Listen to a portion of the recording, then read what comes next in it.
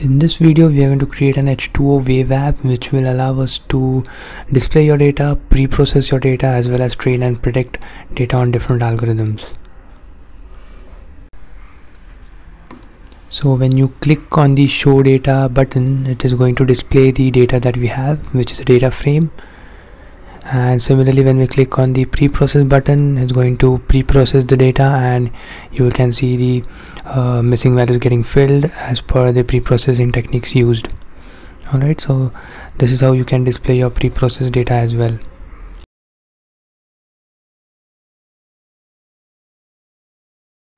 Similarly if you click on the train and predict button what it, it is going to create another card so if you scroll you can see the random forest and the decision tree two buttons getting created. When you click on one it is now going to train your random forest algorithm and it is going to predict it. So it it creates another card with the predictions and it says that the model trained successfully. So the same thing can be done when you click on the decision trees button. So that will create another card on the right saying your de uh, decision tree model trained successfully along with the predictions. So this is what we are going to create in this video. And you can you can find the entire code on my github. I have the entire code on my github. You can uh, contribute to it if you have any more improvements on this. Let's look at the code now so this is the code. So at the beginning we are importing the libraries that we're going to use. So before going to see the h2o wave code we will look at the machine learning part. I'll just give you a brief about what i'm doing here and then we'll look at the h2o wave code.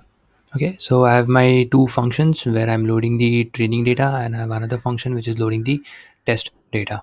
I'm calling those functions and uh, storing them into these variables all right next i have another function which is the pre-processing function. So note that the video is not to understand how pre-processing techniques and all the machine learning part works. So i've done some basic pre-processing and this is what you see in this particular function. All right so the pre-processing is called over here and yes uh, i'm doing that for both training and testing data set. Okay. Next we have the two functions uh, which are actually training your models. So one is the random forest and the other is decision tree right? The one that you will see when we click on this button right? Now let's look at the code where we are actually using h2o wave. So if you see here so this is where it starts. So i have uh, an app uh, routing where it is routing to this particular link. So this is where you can see. So once after the localhost you have that slash demo and this particular function starts running okay? In that we have an asynchronous function uh, which is uh, which has the parameters of query and we are going to take the arguments uh, the in the variable q all right so so let's start building this navigation bar that we have at the top. So if i scroll down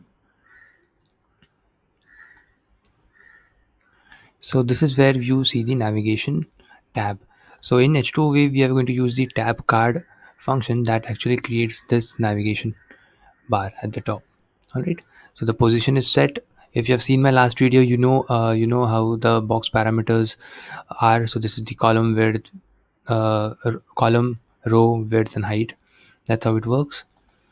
And then we have the items. So the items that we want onto the navigation bar are these. So show data pre-process train and predict are the labels that we have now what do we uh, what do we understand by this hashtag show data?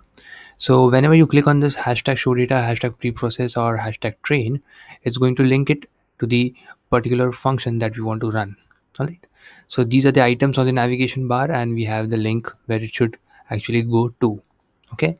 So let's see that now. So when i scroll at the top if you see i have hash equal to q dot arguments in bracket i've written hash all right so this is what we are going to compare. So if hash if you if it founds if it finds any uh, argument what it's going to do is going it's going to go into into this if loop. All right if statement. And if, if inside this statement if it finds show data pre-process or train is going to uh, execute this part. All right so when i click on the show data it uh, shows me this data right? So what has happened here so this is the link that we uh, that it is connecting to. Okay. So if you see now I have demo hashtag show data. This is what it is executing.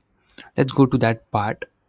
And when we do when we go there you can see what i'm doing is i have another i have, I have a page which says change the items of the show data to text right? So if you see what i'd done earlier is i had created a form card okay. That form card has some text called as display your data here. Similarly i have another one which says pre-processing of data. Okay. So this is what you see. All right and what i'm doing is the ui.text whenever the show data or pre-process is clicked change the ui text to this particular text. Now what does this text do this text actually takes your data and displays it here. This is a data frame all right so how do i make my data frame display it on my H onto my h2o wave app? So what i've done here is if you go, go and look at the documentation you'll find this. I've created two functions which which are make markdown row and the make markdown table. One of them takes values and the other takes fields and rows right and i'm using these two functions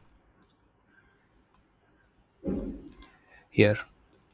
All right make mark, markdown table. And what i'm doing is in the fields column i'm uh, converting my data frame columns to a list. I'm converting all my rows to values again to another list. Right? This is this is how you can display your data frame onto your h2o wave app. Okay? And i'm done the same thing for pre-processing as well. Okay? Now for pre-processing if you see the uh, variable that i'm passing that i'm converting to to list is a train variable. Now this train variable is taken when we had converted our pre-processing our original data using this function the pre-processing function right? So that's how you display it. Now let's see the training and the predicting part as well. So when the user clicks on the train and predict button. Over here it will go in this particular link and on that link what we are going to do is we are going to create a new form card.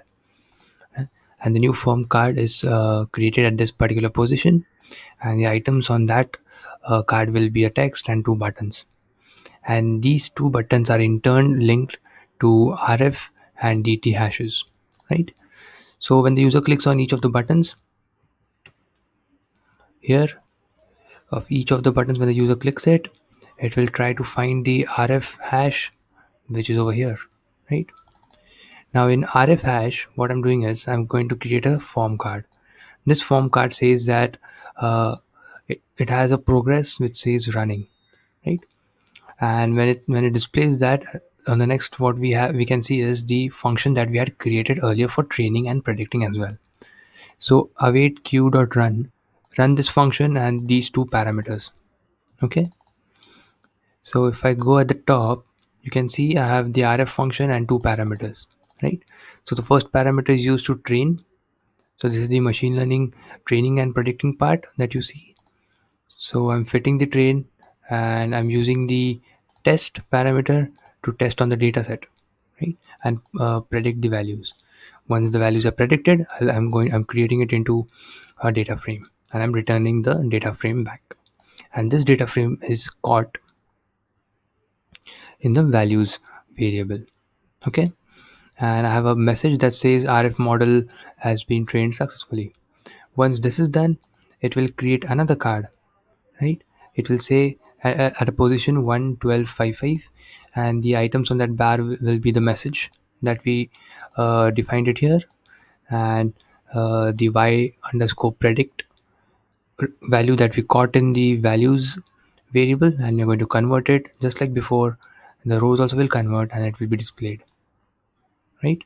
So that is what we saw at the first at the start of the video okay? So similarly when the user also clicks on the dt decision tree button it will try to find the dt hashtag hash and it will create another box. It will again say dt model trained successfully uh, it will be at an, another position now because we have two different algorithms that we want to uh, that we want to display the prediction values. And here also it will uh, take it into a variable called values. We'll convert them and then we will display it using this function just like earlier we did it for show data uh, button when it was clicked. So this is how you can use the H2O wave to create your web application that can train and predict based on the models that you are using, right? So this is what I wanted to show you in this particular video.